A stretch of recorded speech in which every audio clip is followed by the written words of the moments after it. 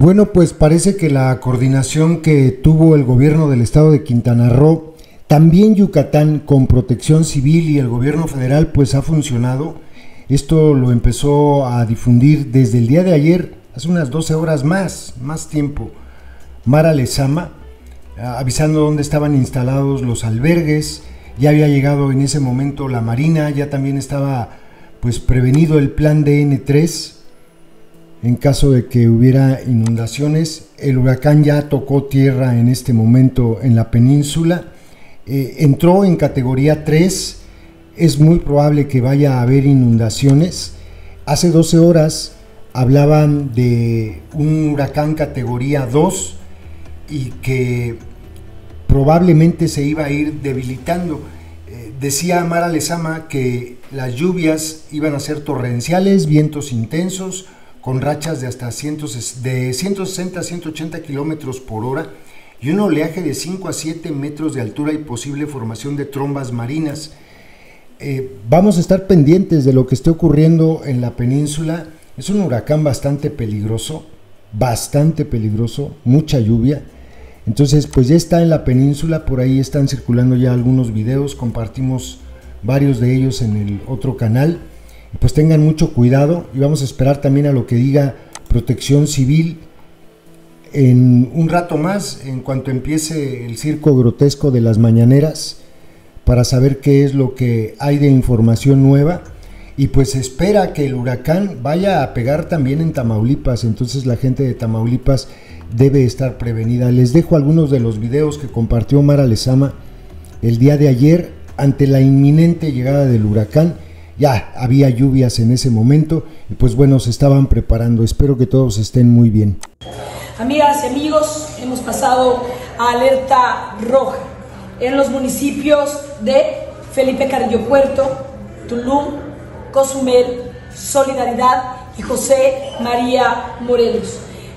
seguramente a lo largo del día y la noche pasaremos todos los municipios a alerta roja. Por lo pronto, en este momento ya en alerta roja, peligro máximo, los municipios, le repito, Felipe Carrillo Puerto, Tulum, José María Morelos, Cozumel y Solidaridad.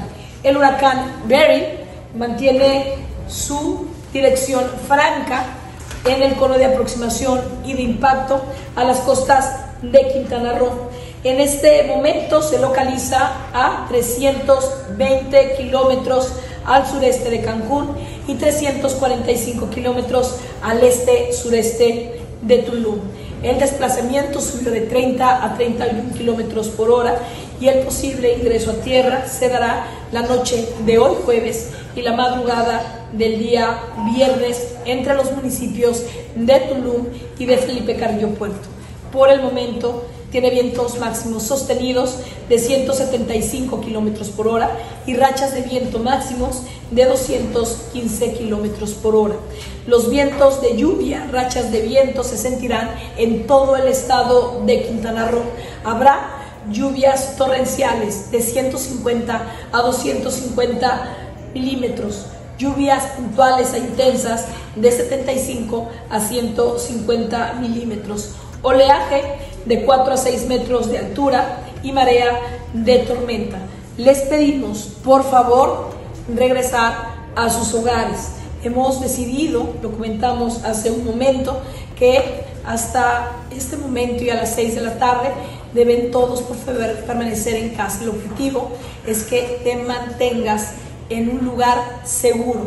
En la ciudad de Cancún evidentemente ante la industria turística y en coordinación con el Consejo Hotelero tendremos rutas de transporte público hasta las 8 de la noche para que la gente que trabaja en industria hotelera y que ha dejado todo en orden en los hoteles, en sus centros de hospedaje con la finalidad de dar refugio también a las y los turistas puedan regresar a casa en tiempo y forma con sus familias. Tenemos refugios habitados en todo el estado. Tenemos personas que han sido evacuadas y personas que ya están en los refugios. Siete refugios urbanos con. Estamos aquí en Tulum, esto parecería una calma, lluvia, se va, ya nos vamos a resguardar, vamos al centro eh, coordinación de operaciones, plan de N3E. GNA de la Guardia Nacional del el Ejército, en donde tenemos todo un equipo conformado para seguir trabajando a lo largo de la noche y seguir comunicando. Eh, nos llegó una llamada que había todavía gente en la calle, hicimos el recorrido invitando a toda la gente, ya todos prácticamente, no hay nadie aquí en la parte que va a la zona hotelera de Tulum, para derecho, Bocapaila, a la derecha Tulum Centro, a la izquierda Cancún, Playa del Carmen. Aquí se sentirían en unos momentos más, en unas horas más, los vientos ya huracanados. ¿Qué te pedimos? Que te quedes en casa. Nosotros ya nos vamos a resguardar ahí en el centro de mando, vamos a hacer todo desde ahí, toda la comunicación, te vamos a estar informando constantemente, pero necesitamos que tú también ya estés en casa, que no quieras hacer nada de arreglar cualquier cable, que te protejas, que protejas a los tuyos, que esto que, parece, que parece una calma de repente puede caer eh, la tormenta súbita, de repente pueden venir los vientos y el objetivo es protegerte. Todos, por favor, ya en casa y que mantengamos informados. Estamos en el centro del estado, aquí en Tulum, y de manera inmediata, en el primer minuto que podamos volver a salir, estaremos en la calle para atenderte. Aquellos que han pasado la contingencia, que necesitan una situación de emergencia, a poner ya todas las cocinas, a atenderte en tu colonia, en las comunidades, abrir brechas para llegar al lugar en donde nos necesitas. Estamos aquí para servirte 24/7. Por favor, quédate en casa, haremos lo propio y desde, ahí, desde el centro de mando, estaremos informando.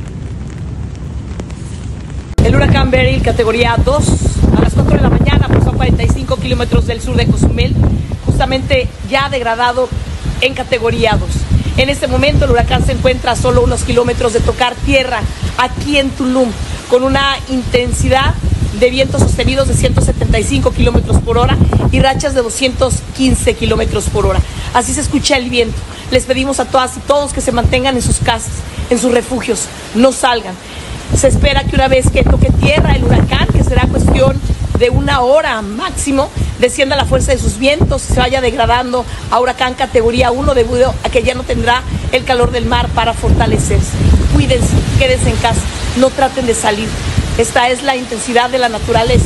Queremos que estés bien y en el minuto uno que podamos salir, que podamos ir a la calle, estaremos ahí en las comunidades más afectadas, en tu casa, en tu colonia, para ayudarte con todo el esfuerzo de las fuerzas federales, todo el equipo del gobierno del Estado, todo el equipo de los gobiernos municipales. Lo más importante en este momento es resguardarte, cuidarte, no te arriesgues.